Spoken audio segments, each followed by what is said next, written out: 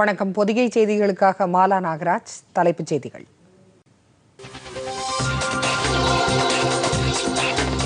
Corona virus குறித்து பிரதமர் நரேந்திர மோடி தலைமையில் நாள்தோறும் ஆய்வு மத்திய அமைச்சரவை கூட்டத்திற்கு பிறகு அமைச்சர் பிரகாஷ் ஜவ்டேகர் பேட்டி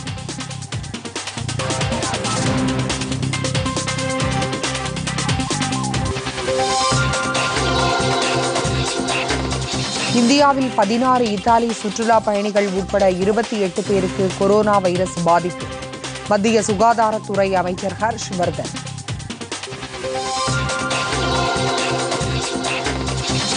நிர்பயா வழக்கில் பவன்குமார் குப்தாவின் கருணை மனுவையும் நிராகரித்தார் குடியரசுத் தலைவர் ராம்நாத் கோவிந்த் தூக்கு தண்டனையை நிறைவேற்ற புதிய தேதியை அறிவிக்குமாறு தில்லி அரசு நீதிமன்றத்தில் கோரிக்கை பதினான்காயிரம் கோடி ரூபாய் செலவில் தென் மாவட்ட ஏரிகளில் தண்ணீர் நிரப்பப்படும் மேட்டூரில் சரபங்கா பாசனத்திட்ட அடிக்கல் நாட்டு விழாவில் முதலமைச்சர் எடப்பாடி பழனிசாமி பேச்சு விரிவான செய்திகள் இந்தியாவில் கொரோனா வைரஸ் பரவாமல் தடுக்கும் நடவடிக்கைகளை மத்திய அரசு உறுதியுடன் மேற்கொண்டு வருவதாகவும் இதனை பிரதமர் நரேந்திர மோடி நாள்தோறும் ஆய்வு மேற்கொண்டு வருவதாகவும் மத்திய அமைச்சர் பிரகாஷ் ஜவ்டேகர் தெரிவித்துள்ளார் தில்லியில் இன்று பிரதமர் தலைமையில் நடைபெற்ற ஆய்வுக் கூட்டத்திற்கு பிறகு செய்தியாளர்களிடம் பேசிய அவர் நாட்டில் இருபத்தோரு விமான நிலையங்களில் ஆறு லட்சத்திற்கும் மேற்பட்ட பயணிகள் கண்காணிப்பிற்கு உட்படுத்தப்பட்டதாகவும் நேபாளம் பூட்டான் மற்றும் மியான்மர் நாட்டு எல்லையிலும் கண்காணிப்புகள் தீவிரப்படுத்தப்பட்டிருப்பதாகவும் தெரிவித்தார் கொரோனா வைரஸை ஆய்வு செய்ய பதினைந்திற்கும் மேற்பட்ட பரிசோதனை கூடங்கள் நிறுவப்பட்டிருப்பதாகவும் மேலும் பத்தொன்பது கூடுதல் மையங்கள் ஏற்படுத்தப்பட்டிருப்பதாகவும் அவர் கூறினார் जो एनआरआई भारतीय नागरिक है उनको भी इसके लिए बहुत बड़े निर्णय लिया है पहले ये था कि पहले जो स्कीम थी उसके में एनआरआई केवल 49 परसेंट ले सकते थे अब वो 100 फीसदी ले सकते हैं और एयर इंडिया के नियम के तहत पहले जो संभव नहीं था अब संभव हुआ है शेड्यूल्ड एयरक्राफ्ट ऑपरेटर का और जो एक वो रूल था सब्सटैंशियल ओनरशिप इफेक्टिव कंट्रोल इससे एनआरआई के रोल को मर्यादा आ रही थी वो खत्म करी है अब रास्ता खुला है अपना नेशनल कैरियर चलेगा निजी व्यवस्थापन आएगा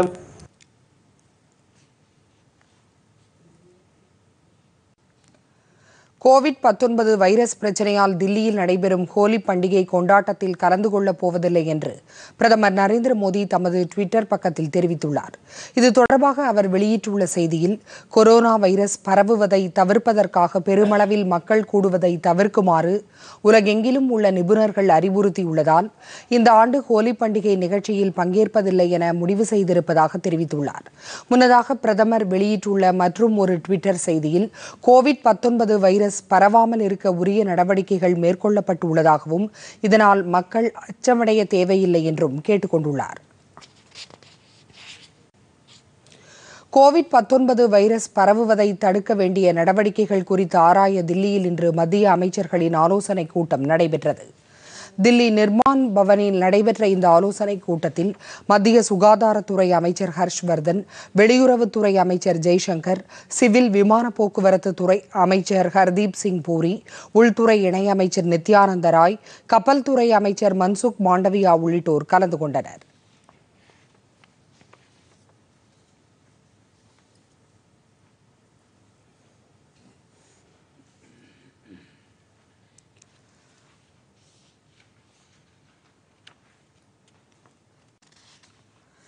இந்தியாவில் கொரோனா வைரஸ் தொற்றால் இருபத்தி எட்டு பேர் பாதிக்கப்பட்டுள்ளதாக மத்திய சுகாதாரத்துறை அமைச்சர் ஹர்ஷ்வர்தன் தெரிவித்துள்ளார் தில்லியில் செய்தியாளர்களை சந்தித்த அவர் இந்தியாவில் மொத்தம் இருபத்தி எட்டு பேருக்கு கொரோனா வைரஸ் பாதிப்பு இருப்பது உறுதிப்படுத்தப்பட்டிருப்பதாக தெரிவித்தார் தில்லியில் ஒருவருக்கும் ஆக்ராவில் ஆறு பேருக்கும் தெலங்கானாவில் ஒருவருக்கும் கேரளாவில் மூன்று பேருக்கும் பதினாறு இத்தாலி சுற்றுலா பயணிகள் மற்றும் ஒரு ஓட்டுநருக்கும் கொரோனா வைரஸ் தொற்று ஏற்பட்டிருப்பது கண்டறியப்பட்டுள்ளதாகவும் அவர் தெரிவித்தார் இதனிடையே கொரோனா வைரஸை கட்டுப்படுத்த பொதுமக்கள் பின்பற்ற வேண்டிய அறிவுரைகளை மத்திய சுகாதாரம் மற்றும் குடும்ப நலத்துறை அமைச்சகம் வெளியிட்டுள்ளது கொரோனா வைரஸ் பரவாமல் தடுக்க தனிநபர் சுகாதாரத்தை பராமரிக்க வேண்டும்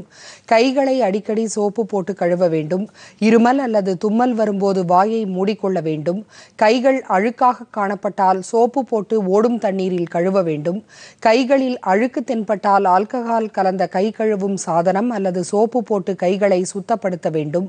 உபயோகிக்கப்பட்ட காகித கைக்குட்டைகளை உடனடியாக குப்பை தொட்டியில் போட வேண்டும் உடல் சோர்வாக காணப்பட்டால் மருத்துவரை உடனடியாக அணுக வேண்டும் ஆகியவற்றை பொதுமக்கள் பின்பற்ற வேண்டும் என்று தெரிவிக்கப்பட்டுள்ளது இதேபோல் பொதுமக்கள் தவிர்க்க வேண்டிய சில செயல்களும் அறிவுறுத்தப்பட்டுள்ளன இதன்படி இருமல் மற்றும் காய்ச்சல் இருப்பவர்கள் மற்றவர்களுடன் சகஜமாக பழகுதல் கூடாது பொது இடங்களில் எச்சில் துப்பக்கூடாது விலங்குகள் அல்லது சமைக்கப்படாத மாமிச இறைச்சியை தொடக்கூடாது பண்ணைகள் கால்நடை சந்தைகள் அல்லது மிருக வதை செய்யும் இடங்களுக்கு செல்லக்கூடாது போன்றவற்றை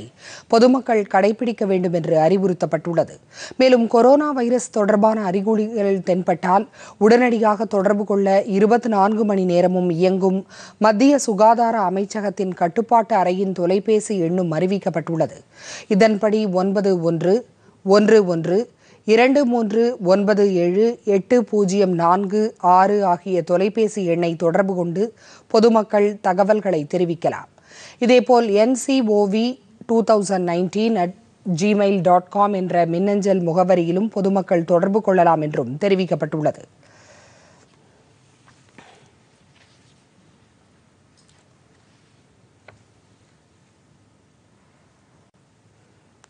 தில்லி வன்முறை சம்பவ பிரச்சினை நாடாளுமன்றத்தில் இன்று மீண்டும் எதிரொலித்ததால் இரு அவைகளும் நாள் முழுவதும் ஒத்திவைக்கப்பட்டன மக்களவை இன்று காலை கூடியதும் தில்லி வன்முறை சம்பவம் குறித்து அவையில் விவாதம் நடத்த வேண்டும் என்று எதிர்க்கட்சிகள் கோஷமிட்டன ஆனால் தில்லி வன்முறை சம்பவம் ஹோலி பண்டிகை விடுமுறைக்கு பிறகு பதினொன்றாம் தேதி என்று விவாதத்திற்கு எடுத்துக்கொள்ளப்படும் என்று நாடாளுமன்ற விவகாரத்துறை அமைச்சர் பிரகலாத் ஜோஷி அவையில் தெரிவித்தார் இருப்பினும் எதிர்க்கட்சிகள் உடனடியாக விவாதத்திற்கு எடுத்துக்கொள்ள வேண்டும் என்று தொடர்ந்து கோஷமிட்டதால் அவை நண்பகல் பனிரெண்டு மணி வரையிலும் பின்னர் நாள் முழுவதும் ஒத்திவைக்கப்பட்டது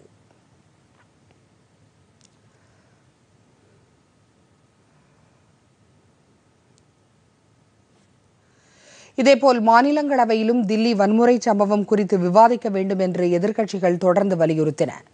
ஆனால் ஹோலி பண்டிகைக்கு பிறகு விவாதம் மேற்கொள்ளப்படும் என்று மாநிலங்களவை தலைவர் வெங்கையா நாயுடு தெரிவித்த போதிலும் எதிர்க்கட்சி உறுப்பினர்கள் தொடர்ந்து அமளியில் ஈடுபட்டதால் அவை இன்று நாள் முழுவதும் ஒத்திவைக்கப்பட்டது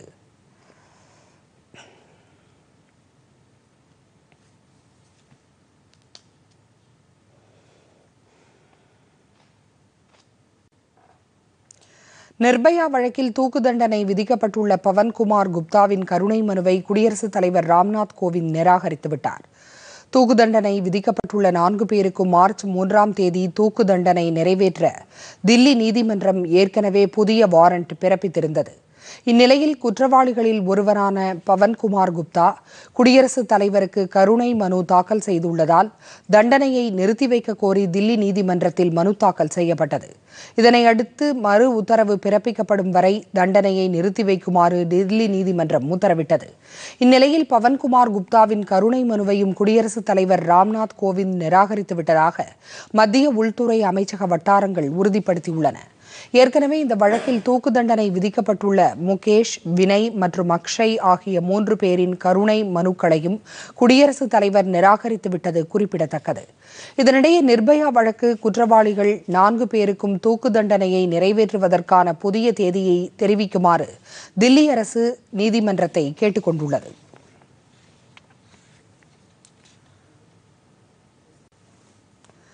ஆந்திர மாநிலம் இருந்து ஜிஎஸ்எல்வி எஃப் டென் ராக்கெட் மூலம் நாளை மாலை விண்ணில் செலுத்தப்பட இருந்த ஜிசாட் ஒன்று செயற்கைக்கோள் திட்டம் ஒத்திவைக்கப்பட்டுள்ளது விண்வெளியிலிருந்து பூமியை கண்காணித்து அரிய தகவல்களை படம் பிடித்து அனுப்பும் திறனுடைய இந்த செயற்கைக்கோளை விண்ணில் செலுத்துவதற்கான பணிகள் முழுவீச்சில் நடைபெற்று வந்தன இந்நிலையில் தொழில்நுட்ப காரணங்களால் ஜிசாட் ஒன்று செயற்கைக்கோளை விண்ணில் செலுத்தும் பணிகள் ஒத்திவைக்கப்படுவதாக இஸ்ரோ அறிவித்துள்ளது ஜிசாட் ஒன்று செயற்கைக்கோளை விண்ணில் செலுத்துவதற்கான புதிய தேதி பின்னர் அறிவிக்கப்படும் என்றும் இஸ்ரோ தெரிவித்துள்ளது சிறிய இடைவேளைக்கு பிறகு செய்திகள் தொடரும் என்னங்க எக்கனாமிக் சயின்ஸோட இனோமினேட்டர் நம்ம பக்கத்து வீட்டு குமார் ஆஃபீஸ்க்கு வந்திருந்தாங்க அவர்கிட்ட அவர் வணிகத்தை பத்தி தகவல் சேகரிச்சுட்டு இருந்தாங்க ஆமா அதுக்கு என்ன என்னவா நாம ஏன் மத்தவங்க கிட்ட சொல்லணும் நம்ம வணிகம் எப்படி நடக்குதுன்னு ம் இதெல்லாம் சொல்ற விஷயமா என்ன ஏன் கூடாது நம்ம தொழில்களை பற்றி எவ்வளவு தகவலை சொல்கிறோமோ அவ்வளவுக்கும் அரசாங்கம் நம்முடைய தொழில்களை மேலும் சிறப்பாக செயல்படுத்த பல நல்ல திட்டங்களை உருவாக்க முடியும் அப்படியா அப்படின்னா நீங்க எல்லா தகவலையும் சொல்லிடுங்க சொல்லிட்டேன் சரியானதா உண்மையான தகவலை வாருங்கள் நம் கடமையை பொறுப்புடன் நிறைவேற்றுவோம் பொருளாதார கணக்கெடுப்பில் சரியான தகவலை அளிப்போம் மழைக்காலங்களில் மேட்டூர் அணையிலிருந்து வெளியேற்றப்படும் வெள்ள உபரி நீரை சேலம் மாவட்டத்தின் சரபங்கா வடிநில பகுதியில் உள்ள நூறு வறண்ட ஏரிகளுக்கு திருப்பி விடப்படும் திட்டத்திற்கு முதலமைச்சர் எடப்பாடி பழனிசாமி இன்று அடிக்கல் நாட்டினார் விழாவில் பேசிய முதலமைச்சர் எடப்பாடி பழனிசாமி தமிழகத்தில் வேளாண் திட்டங்களுக்கு முன்னுரிமை அளித்து தமது அரசு செயல்பட்டு வருவதாக தெரிவித்தார் காவிரி குண்டாறு இணைப்பு திட்டத்தின் மூலம் பதினான்காயிரம் கோடி ரூபாய் மதிப்பில் கால்வாய்கள் மூலம் தென் மாவட்டங்களில் உள்ள ஏரிகளில் தண்ணீர் நிரப்பப்படும் என்றும் முதலமைச்சர் குறிப்பிட்டார்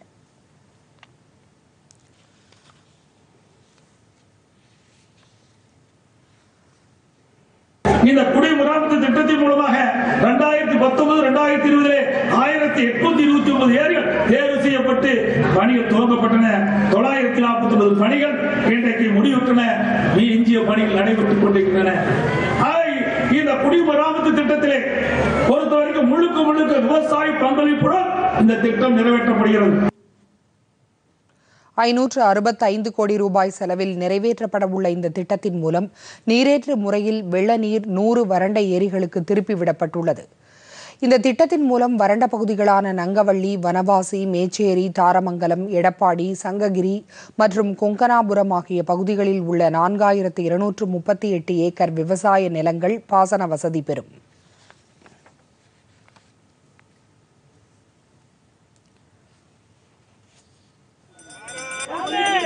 சார்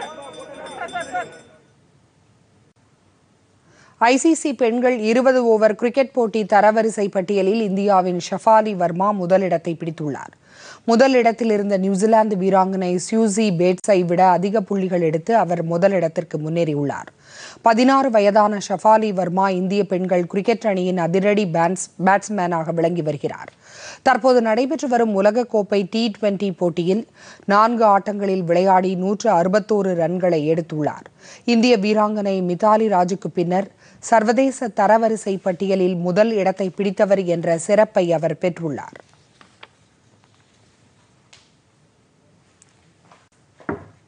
தொடர்வது வணிகச் செய்திகள்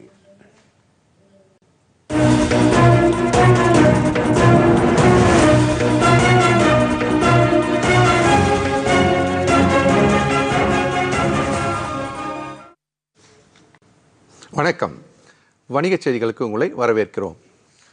ஒவ்வொரு நாளும் சந்தை சார்ந்த முக்கியமான தகவல்களை உங்களிடம் பகிர்ந்து கொள்கிறோம் சந்தையானது தொடர்ந்து தற்போது இறங்குமுகமாக இருந்து கொண்டிருக்கிற நிலையில் சந்தையில் நிகழக்கூடிய சில முக்கியமான செய்திகளையும் இப்போது பார்க்கலாம் முக்கியமாக சந்தையோடு நேரடியாக தொடர்பு கொண்ட சந்தை செய்திகள் அப்படின்னு பார்க்கும்போது இந்த வாகன விற்பனை என்பது முக்கியமான ஒரு விஷயமாக பார்க்கப்படுகிறது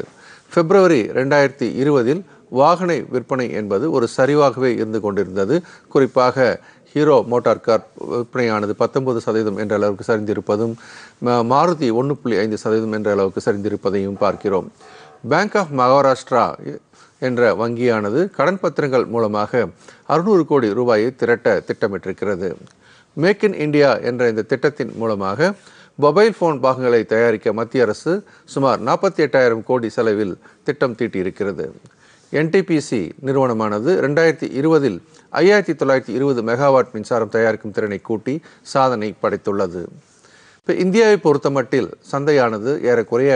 தொடர்ந்து ஆறு நாட்களாக பெரும் இறக்கத்தை சந்தித்து கொண்டிருந்த நிலையில் நேற்று ஓரளவுக்கு கொஞ்சம் அந்த இறக்கம் நிறுத்தப்பட்டு மேல் நோக்கி திரும்பியதை பார்த்தோம் ஆனால் இன்று காலையிலும் ஏறக்குறைய ஒரு சாதகமான நிலையில் இருந்த சந்தையானது பெரும் இறக்கத்திற்கு உள்ளாகி இருந்தன இந்த சந்தையினுடைய நிலவரத்தை நம்ம விரிவாக பார்ப்பதற்கு முன்பாக இன்னைக்கு சந்தை எவ்வாறு முடிந்திருக்கிறதுன்னு பார்க்குறோம் மும்பை பங்கு சந்தை சென்செக்ஸ் ஆனது புள்ளி ஐந்து ஐந்து சதவீதம் என்ற அளவுக்கு இறங்கி முப்பத்தெட்டாயிரத்தி நானூற்றி ஒன்பது என்ற புள்ளியிலும் தேசிய பங்கு சந்தை குறியீட்டான ஆனது புள்ளி நான்கு மூன்று சதவீதம் இறங்கி பதினோராயிரத்தி இரநூத்தி ஐம்பத்தி நாலு என்ற புள்ளியிலும் பேங்க் நிஃப்டி மைனஸ் ஒன்று புள்ளி ஏழு மூணு சதவீதம் என்ற அளவுக்கு இறங்கி இருபத்தி எட்டாயிரத்தி இரநூத்தி எழுபத்தி ஒன்று என்ற புள்ளியிலும் நிலையிலும் முடிந்திருப்பதாக பார்க்கிறோம் சந்தையினுடைய இறக்கம் இவ்வாறு இருக்க எந்தெந்த துறைகள் இன்று ஏறியும் இறங்கியும் முடிந்திருக்கின்றன என்ற விவரத்தை கூட பார்க்கலாம் இன்றைய சந்தையில் ஏற்றமடைந்த துறைகள் என்றால் ரெண்டு தான் நிஃப்டி ஃபார்மா ஒன்று புள்ளி ஒன்பது எட்டு சதவீதம் ஏறியும் நிஃப்டி ஐடி புள்ளி எட்டு ஏழு சதவீதம் ஏறியும் முடிந்திருப்பதை பார்க்கிறோம் இறங்கி முடிந்திருக்கிற சந்தையின் இறங்கி முடிந்த சில முக்கியமான துறைகளை கூட நம்ம அடுத்து பார்க்கலாம் சந்தையினுடைய இறக்கம் என்பது இன்று கணிசமாக இருந்து கொண்டிருந்த நிலையில் பெரிய இறக்கங்கள் அப்படின்னு பார்க்கும்போது நிஃப்டி மீடியா என்று சொல்லக்கூடிய ஊடகத்துறை ரெண்டு புள்ளி ஒரு சத புள்ளி பூஜ்ஜியம் பூஜ்ஜியம் ஒரு சதவீதம் என்ற அளவிலும் நிஃப்டி பேங்க் ஆனது மைனஸ் ஒன்று புள்ளி ஏழு மூணு சதவீதம் என்ற அளவிற்கு இறங்கியும் நிஃப்டி பிரைவேட் பேங்க் மைனஸ் ஒன்று புள்ளி ஏழு ஒரு சதவீதம் என்ற அளவிற்கு இறங்கியும் முடிந்திருப்பதாக பார்க்கிறோம் இவை எல்லாமே வந்து உள்நாட்டு சந்தையினுடைய நிலவரம் அதே போன்று உலக சந்தையும் எவ்வாறு நகர்ந்திருக்கிறது அப்படின்றத கூட நம்ம பார்க்கலாம் குறிப்பாக அமெரிக்க சந்தை அப்படின்றது நேற்று பெரும் சரிவை சந்தித்தது டவ் ஜோன்ஸ் மைனஸ் ரெண்டு புள்ளி ஒன்பது நாலு சதவீதம் எஸ்என்பி ஃபைவ் ஹண்ட்ரட் மைனஸ் ரெண்டு புள்ளி எட்டு ஒரு சதவீதம் நாஸ்டாக் மைனஸ் ரெண்டு புள்ளி ஒன்பது ஒன்பது சதவீதம் என்ற அளவிற்கு இறங்கி ஒரு பெரும் இறக்கத்தை சந்தை காட்டியிருந்தது அதை அடுத்து துவங்கிய இன்று காலையில் ஆசிய சந்தைகள் அப்படின்னு நம்ம பார்க்கும்போது ஆசிய சந்தைகளும் இன்று என்று ஓரளவுக்கு காலையில் ஏறி துவங்கினாலும் அதன் பிறகு இறங்கியே முடிந்திருப்பதை பார்க்கிறோம் சங் மைனஸ் ரெண்டு புள்ளி நான்கு நான்கு சதவீதமும் ஷங்கை புள்ளி ஆறு மூணு சதவீதம் ஏறியும் நிக்காய் புள்ளி பூஜ்ஜியம் எட்டு சதவீதம் ஏறியும் முடிந்திருப்பதை பார்க்கிறோம் சந்தை இறங்கிய இந்த நிலையில் மதியம் துவங்கிய ஐரோப்பிய சந்தை என்பது சற்றே ஆறுதல் அளிக்கக்கூடிய நிலையில் இருந்தது ஐரோப்பிய சந்தையில் ஃபுட்ஸ் என்று சொல்லக்கூடிய இங்கிலாந்து நாட்டு சந்தையானது ஒன்று புள்ளி ஐந்து எட்டு சதவீதம் ஏறியும் காக் என்று சொல்லக்கூடிய பிரான்ஸ் சந்தை ஒன்று புள்ளி நான்கு சதவீதம் ஏறியும் டாக்ஸ் ஜெர்மன் சந்தையானது ஒன்று புள்ளி நான்கு பூஜ்ஜியம் என்ற அளவிற்கு ஏறியும் முடிந்திருப்பதாக பார்க்கிறோம் பார்க்கிறோம் இந்த மாதிரி ஒரு ஐரோப்பிய சந்தையுடைய ஏற்றத்தின் அடிப்படையில் நம் சந்தை கொஞ்சம் தாக்குப்பிடித்திருக்க நிலையில் தங்கத்தின் நிலைமை எவ்வாறு இருக்கிறது என்பதை தற்போது பார்க்கலாம் தங்கம் நிலவரம் பார்த்தீங்கன்னா இருபத்தி நாலு கேரட் தங்கம் ஒரு கிராம் நாலாயிரத்தி முந்நூற்றி முப்பத்தி நாலு என்ற விலையிலும் ஆபண தங்கம் இருபத்தி ரெண்டு கேரட் ஒரு கிராம் நாலாயிரத்தி நூற்றி இருபத்தெட்டு என்ற விலையிலும் ஒரு சவரன் எட்டு கிராம் முப்பத்தி மூணாயிரத்தி இருபத்தி நாலு என்ற விலையிலும் வெள்ளி ஒரு கிராம் ஐம்பது ரூபாய் என்ற விலையிலும் முடிந்திருப்பதாக பார்க்கிறோம் நம் சந்தையினுடைய நகர்வு அப்படின்னு பார்க்கும்போது ஒரு நாள் ஏற்றம் ஒரு நாள் இறக்கம் கேப் அப் கேப் டவுன் என்று நிகழ்ந்து கொண்டிருக்கிற நிலையில் நம்முடைய சந்தை இன்று எவ்வாறு நகர்ந்திருக்கிறது என்ற முக்கிய குறியீட்டுகளுடைய வரைபடம் மூலமாக நம்ம பார்க்கலாம் முதல்ல சென்செக்ஸ் அப்படின்னு எடுத்துக்கிட்டிங்கன்னா காலையில் தோங்கும் போது முப்பத்தி எட்டாயிரத்தி எழுநூற்றி பதினேழு புள்ளியில் தோங்கிய நிலையில் அதிகபட்சமாக முப்பத்தி எட்டாயிரத்தி எழுநூற்றி தொண்ணூற்றி ஒன்று என்று ஒரு ஒரு கேப் அப்பில் துவங்கி நகர்ந்தாலும் அன்று பெரும் சரிவை சந்தித்து குறைந்தபட்ச புள்ளியாக முப்பத்தி ஏழாயிரத்தி எண்ணூற்றி நாற்பத்தாறை தொட்டு முடியும் பொழுது இருபத்தி இரநூத்தி பதினாலு புள்ளிகளை இழந்து முப்பத்தி எட்டாயிரத்தி நானூற்றி ஒன்பது என்ற புள்ளியில் முடிந்திருப்பதை பார்க்கிறோம் முப்பது பங்களை உள்ளடக்கிய சென்செக்ஸில் ஏற்ற பங்களாக பதிமூணும் இறக்க பங்குகளாக பதினேழும் இருப்பதை பார்க்கிறோம் ஆக ஆக ஒட்டுமொத்தத்தில் புள்ளி ஐந்து ஐந்து சதவீதம் என்ற அளவிற்கு இறங்கி முப்பத்தெட்டாயிரத்தி நானூற்றி ஒன்பதில் சென்செக்ஸ் முடிந்திருக்கிறது அதே மாதிரி தேசிய பங்கு சந்தையினுடைய குறியீட்டு எண் அப்படின்னு நம்ம பார்க்கும்போது நிஃப்டி என்று சொல்லக்கூடிய இந்த குறியீட்டினுடைய நகர்வை இப்போ பார்க்கலாம் காலையில் தோங்கும் போது பதினோராயிரத்தி முந்நூற்றி ஐம்பத்தொன்னில் தோங்கி அதிகபட்சமாக பதினோராயிரத்தி முந்நூற்றி ஐம்பத்தாறு ஏறக்குறைய அருகாமையிலே இருப்பதனால் இறங்குவதற்கான வழியை காட்டியிருப்பதாக பார்க்கிறோம் இறங்கும்போது பெரும் அளவில் இறங்கி மிகப்பெரிய அளவில் வீழ்ச்சி அடைந்து பதினோராயிரத்தி எண்பத்தி ரெண்டு என்ற குறைந்தபட்ச புள்ளியை தொட்டு முடியும் போது ஓரளவுக்கு ஏறி பதினோராயிரத்தி இரநூத்தி ஐம்பத்தி நாலு என்ற ஒரு புள்ளியில் முடிந்திருப்பதை பார்க்கிறோம் ஐம்பது நிறுவனங்களை உள்ளடக்கிய நிஃப்டியில் இருபத்தி இரண்டு நிறுவனங்கள் ஏறுமுகமாக இறங்குமுகமாகும் இருபத்தி எட்டு நிறுவனங்கள் இறங்குமுகம் இருந்து முடியும் பொழுது இறக்கத்தின் ஒரு பகுதியை மீட்டெடுத்து நாற்பத்தி ஒன்பது புள்ளிகளை மட்டுமே இழந்து பதினோராயிரத்தி இரநூத்தி ஐம்பது நாள் முடிந்திருப்பதாக பார்க்கிறோம் அடுத்து பேங்க் நிஃப்டி என்று சொல்லக்கூடிய வகையில் வங்கித்துறைக்கான இந்த குறியீட்டு எண்ணை பற்றிய விவரத்தை பார்க்கலாம் இது மிகப்பெரிய சரிவை என்று சந்தித்திருந்தது ஆரம்பிக்கும் போது இருபத்தி ஒன்பதாயிரத்தி இரநூத்தி ஐம்பத்தி ரெண்டு என்ற புள்ளியில் தோங்கினாலும் அதிகபட்சமாக இருபத்தி ஒன்பதாயிரத்தி இரநூத்தி எழுபத்தி மூணு என்ற புள்ளிகள் நெருக்கமாக தொட்டு அதன் பிறகு மிக பெரும் சரிவை சந்தித்து இருபத்தி எட்டாயிரத்தி நூத்தி நூற்றி இருபத்தைந்து என்ற அளவுக்கு இறங்கி முடியும் பொழுது ஐநூற்றி ஐந்து புள்ளிகளை இழந்து இருபத்தி எட்டாயிரத்தி இரநூத்தி எழுபத்தி ஒன்றில் முடிந்திருப்பதை பார்க்கிறோம் பனிரெண்டு வங்கிகளை உள்ளடக்கிய இந்த குறியீட்டு எண்ணில் ரெண்டு வங்கிகள் மட்டுமே ஏறுமுகமாகவும் பத்து வங்கிகள் வந்து இறங்குமுகமாகவும் இருந்து முடியும் பொழுது மைனஸ் ஒன்று புள்ளி ஏழு மூணு சதவீதம் என்ற அளவிற்கு இறங்கி இருபத்தி எட்டாயிரத்தி அறுநூத்தி எழுபத்தொன்னில் முடிந்திருப்பதாக பார்க்கிறோம் நம் சந்தையை பொறுத்த மட்டில் அப்படின்னு பார்க்கும்போது நிஃப்டி இறங்கியது எனவோ சுமார் புள்ளி ஐந்து சதவீதம் பார்க்கும்போது பேங்க் நிஃப்டி பெருமளவு இறங்கி ஒன்று புள்ளி ஏழு சதவீதத்துக்கு மேலான இறக்கத்தை பார்க்கிறோம் ஆக நிதித்துறை சார்ந்த இந்த இறக்கம் என்பது நம்முடைய ஒட்டுமொத்த பொருளாதாரத்திற்கு கூட ஒரு பின்னடைவாக இருப்பதாக பார்க்கிறோம் பொதுவாக சந்தையினுடைய வரக்கூடிய நிகழ்வுகள் அப்படின்னு பார்க்கும்போது ஒவ்வொரு நாளும் ஏற்றம் இறக்கம் தொடர் இறக்கங்கள் தொடர் ஏற்றங்கள் இருந்தாலும் கூட இந்த சந்தையை எப்படி கையாள வேண்டும் என்பதையும் நாம் கற்றுக்கொள்ள வேண்டும் சந்தையை பொறுத்த மட்டில் நாம் யாராக உள்ளே வருகிறோம் அப்படின்னு பார்க்கும்போது பொதுவாக நுழைவு வாயில் அப்படின்றது நீங்கள் ஒரு முதலீட்டாளராகத்தான் வர வேண்டும் என்பதை திரும்ப திரும்ப நினைவுறுத்தி வருகிறேன் ஒரு முதலீட்டாளராக சந்தைக்குள் வரும்பொழுது நாம் எப்படிப்பட்ட திட்டத்தை இந்த சந்தையில் செயல்படுத்த வேண்டும் அப்படின்னு பார்க்கும்போது குறிப்பிட்ட வலிமையான சில நிறுவனங்களை தேர்வு செய்து அந்த நிறுவனங்களில் முதலீடு என்பதை பகுதி பகுதி பகுதியாக அதாவது ஒவ்வொரு இறக்கத்திலும் ஒரு பகுதியை போடுவதற்கான திட்டத்தை தீட்ட வேண்டும் பொதுவாக சந்தை இறங்குமுகமாக இருக்கும் பொழுது நம்ம வந்து பணத்தை ஐந்தாக பிரித்து கொண்டு முதலீடு செய்வது நல்லது இதை எவ்வாறு செய்யலாம் என்பதை கூட சில விளக்கப்படம் மூலமாக நான் உங்களுக்கு சொல்ல இருக்கிறேன் விளக்கப்படம் அப்படின்னும் போது சந்தையை சந்திப்பதற்காக டெக்னிக்கல் அனாலிசிஸ் என்று சொல்லக்கூடிய வகையில் எப்படி நம்ம தெரிஞ்சுக்கணுன்றதுக்காக இன்றைக்கி நம்ம பார்க்க இருக்கிறது வந்து புல்லிஷ் ஹராமி அப்படின்னு சொல்லக்கூடிய ஒரு ஜப்பானிய ஒரு கேண்டில் ஸ்டிக்ஸ் பேட்டர்னை பார்க்குறோம் இந்த வரைபடத்தில் பார்த்தீங்க அப்படின்னு சொன்னீங்கன்னா ஒரு நீளமான சிவப்பு நிற கேண்டலும் அதற்கு பக்கத்தில் ஒரு சிறிய பச்சை நிற கேண்டலும் இருக்கிறது இந்த மாதிரி ஒரு இறக்கத்தின் முடிவில் இந்த புல்லிஷ் ஹராமி வந்தால் சந்தை மேல்முகமாக திரும்பலாம் என்பது இதற்கான ஒரு ஆராய்ச்சி எப்படி இந்த புல்லிஷ் ஹராமி தோன்றி இருக்கிறது அப்படின்றத கூட அடுத்த வரைபடமான நம்ம கோல்டு தங்கத்தினுடைய வரைபடத்தில் பார்க்கலாம்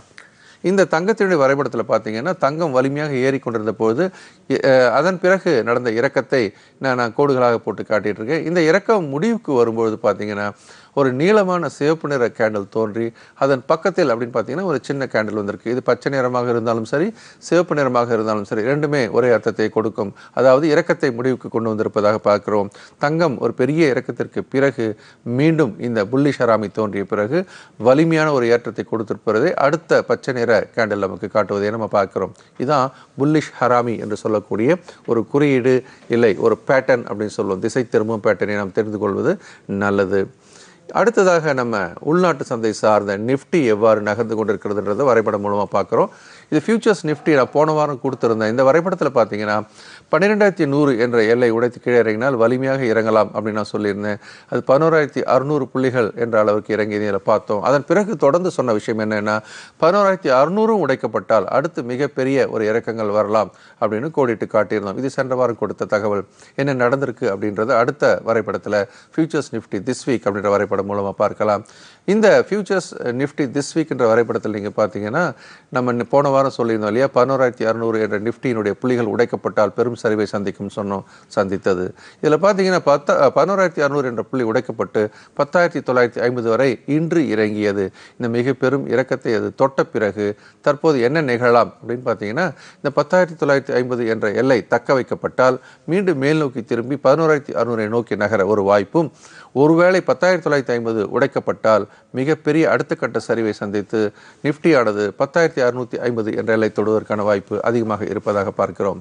ஆக நம்ம டெக்னிக்கலாக கூட சந்தையை எவ்வாறு பார்க்க வேண்டும் என வரைபடம் என்பது ஒரு படத்தை பார்த்து அதன் மூலமாக சந்தை தற்போது ஏர்முகமாக இருக்கிறதா இல்லை இறங்குமுகமாக இருக்கிறதா என்பதை நம்மால் கணிக்க முடியும் என்பதற்கான ஒரு எடுத்துக்காட்டு தான் இந்த ஒவ்வொரு வாரமும் உங்களுக்கு நான் சொல்லிக்கிட்டு இருக்கேன் சந்தை பொறுத்த மட்டில் நாம் தெரிஞ்சுக்க வேண்டிய இன்னும் சில விஷயங்கள் என்னென்னா இந்த ப்ராட் மார்க்கெட் பிக்சர்னு சொல்லுவோம் அதாவது ஒவ்வொரு சந்தையும் எவ்வாறு இன்னொரு சந்தையோடு தொடர்புடையது என்பதை நாம் தெரிந்து கொள்ள வேண்டும் இப்போ பங்குச்சந்தை என்பது ஒரு சந்தையாகவும் அடுத்தது கமாட்டி சந்தை என்பது இன்னொன்றாகவும் எடுத்துக்கொள்ளலாம் குறிப்பாக அதில் தங்கத்தின் வியாபாரமும் குருடாயிலுடைய வியாபாரமும் முக்கிய பங்கு வகிக்கிறது இந்தியாவில் பொறுத்த பொறுத்தவற்றில் அப்படின்னு பார்த்தீங்கன்னாக்கா குருடாயில் நமக்கு மிக இன்றியமையாத ஒரு பொருளாக பார்க்கிறோம் ஏறக்குறைய நம்முடைய தேவையின் பெரும்பகுதி இறக்குமதி செய்யப்படுகிறது இதனுடைய விலை மாற்றம் என்பது நம் பொருளாதார பொருளாதாரத்தோடும் நேரடியாக தொடர்பு கொண்ட விஷயமாகும் இப்போது சந்தையானது அதாவது பங்குச்சந்தை இறங்குமுகமாக இருக்கின்ற ஒரு நிலையில் தங்கமானது ஏறுமுகமாக மாறிக்கொண்டிருக்கிறது அதாவது பங்குச்சந்தையும் தங்கமும் எதிர் எதிர் திசையில் நகர்ந்து கொண்டிருப்பது என்பது பொதுவான நாம் பார்க்கக்கூடிய ஒரு அனுபவ ரீதியான உண்மை அந்த அனுபவ ரீதியான உண்மையும் சில சமயங்களில் மாறி கடந்த சில மாதங்களுக்கு முன்பாக பார்க்கும்போது பங்குச்சந்தையும் ஏறியது தங்கமும் ஏறியது இது இடையிடையே நடக்கக்கூடிய ஒரு மாற்றங்கள்னு சொல்லலாம் இல்லை அபரேஷன் அப்படின்னு சொல்லக்கூடிய வகையில் அவ்வப்போது இந்த மாதிரியான ஒரு சிறிய மாற்றங்கள் வரத்தான் செய்கிறது ஆனால் நீண்டகால அடிப்படையில் பார்க்கும்போது பங்கு சந்தை இறங்கும் பொழுது தங்கம் வலிமையாக ஏறுவதும் தங்கம் வலிமையாக ஏறும் பொழுது பங்குச்சந்தை பெரும் இறக்கத்தை காண்பதையும் பார்க்கிறோம் தற்போது அதுதான் நிகழ்ந்து வருகிறது பங்குச்சந்தைகள் வீழ்ந்து கொண்டிருக்கின்றன உலக பங்குச்சந்தைகள் உட்பட அதே நேரம் தங்கமானது மிகப்பெரிய புதிய புதிய உச்சங்களை தோற்றுவித்துக் கொண்டிருக்கிறது அதே நேரம் தங்கத்திற்கும் கச்சா எண்ணெய்க்கும் உள்ள ஒரு விஷயங்களை நம்ம பார்க்கும்போது தங்கமானது ஏறுமுகமாக இருக்கும் பொழுது பொதுவாகவே கச்சா எண்ணெய் விலையும் ஏறுமுகமாக இருக்கும் என்பது ஒரு உறவுமுறை ஆனால் இப்பொழுது அந்த உறவுமுறைகள் என்பதும் தனித்தனி பிரித்தெடுக்கப்பட்டு தங்கம் தனியாக ஏறுவதும் குருடாயில் என்று சொல்லக்கூடிய கச்சா எண்ணெய் தனியாக ஏறுவதும் நிகழ்ந்து ஏறுவதும் இறங்குவதும் நிகழ்ந்து கொண்டிருக்கிறது ஆனாலும் கடந்த சில தினங்களாக பார்த்தால் தங்கம் ஏறுகிறது கச்சா எண்ணெயும் ஏறிக்கொண்டிருக்கிறது பங்கு சந்தை இறங்குகிறது என்ற ஒரு பழைய உறவு முறை தற்போது இந்த சந்தையில் நிகழ்ந்து கொண்டிருப்பதை பார்க்கிறோம் ஆனாலும் பங்கு சந்தையை பொறுத்த மட்டில் தற்போது உள்ள சூழல் என்பது இந்த கரோனா வைரஸ் மூலமாக கோவிட் நைன்டீன் என்று சொல்லக்கூடிய இதன் மூலமாக பொருளாதார பின்னடைவு நிகழும் என்று உலக வல்லுநர்கள் எதிர்பார்த்து கொண்டிருக்கிறார்கள் சீனாவில் என்று எடுத்துக்கொண்டால் எல்லா நாடுகளிலும் உற்பத்தி செய்யக்கூடிய பொருட்களினுடைய இன்டர்மீடியரி பார்ட்ஸ் என்று சொல்வோம் இல்லை மூலப்பொருட்கள் இல்லை அவர்கள் தயாரிக்கக்கூடிய உதிரி பாகங்கள் எல்லாம் ஒரு வகையில் சீனாவோட தொடர்புடையதாக இருப்பதனால் அங்கிருந்து வரக்கூடிய பொருட்கள் தற்போது அந்த ஃபேக்ட்ரிகளாக மூடப்பட்டிருப்பதனால எல்லா நாடுகளில் இருக்கிற பெரும்பான்மையான தொழிற்சாலைகள் பாதிக்கப்படக்கூடிய நிலை இருப்பதாக செய்திகள் வருகின்றன அதையொட்டி உலக பொருளாதாரம் பின்னடைவு ஏற்பட வாய்ப்பு இருப்பதனால் அமெரிக்காவும் மத்திய வங்கியான ஃபெட் ரிசர்வ் ஆனது நேற்று கிட்டத்தட்ட பார்த்தீங்கன்னா எழுபத்தி ஐந்து பேசிஸ் புள்ளிகளுக்கு குறைக்கும் என்று எதிர்பார்க்கப்பட்டு ஐம்பது பேசிஸ் புள்ளிகள் ஒரே நாளில் குறைத்திருக்கிறார்கள் ஆனாலும் கூட சந்தை அதை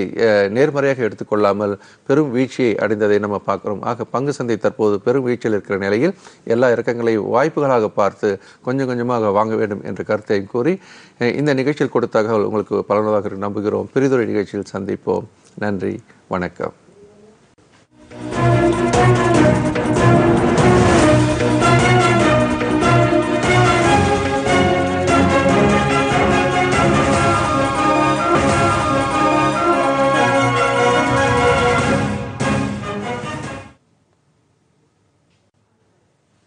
இத்துடன் இந்த செய்தி அறிக்கை நிறைவு பெறுகிறது மீண்டும் செய்திகள் இரவு எட்டு மணிக்கு வணக்கம் Thank you.